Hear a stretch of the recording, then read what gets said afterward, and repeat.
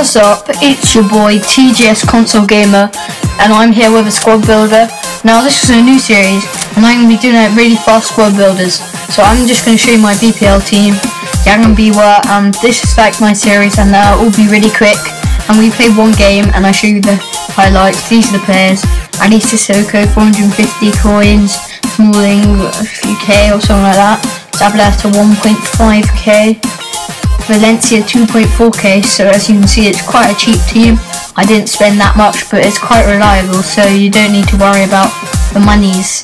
Now Fernandinho which I picked up for 2k 83 pace or something like that not too bad.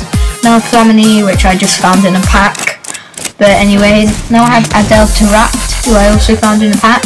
His skill moves and he's nearly got 4, 5 star weak foot 4 star he's got full skills so you can pull off some awesome ones with that. Now he's got Sturridge, and he's got lots of pace. He plays for Liverpool, and he's good well with English squads too. Then when you have Dzeko, plays for Man City, he's pretty cheap, 1.3k. And yep, that's my team. So uh, guys, I'm to get in with some footage whilst I'm talking about the highlights and the weaknesses. And by the way, I would recommend you swapping Flamini for um, Cleverley because as you can see here, Cleverley picked me up a goal and that wasn't too bad of a goal from this one game which I did play. And that's the goal he scored.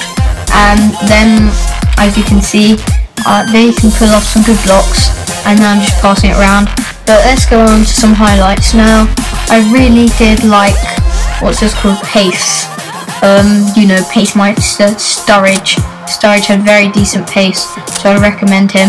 And then that was a good tackle there I'm going to take a shot with Cleverley and it's just going to be saved so yeah I'll definitely recommend putting Cleverley in. Now the weak points. Problem is def defenders don't have that much pace so you could go with bringing in David Luiz if you want to get a bit more expensive defensive. He's not that expensive but he's a bit expensive. So yeah if you want an expensive player I would go for him. So guys, I'm going to begin to sign off this video and if you did enjoy it, please like leave a like on this video because that would mean so much.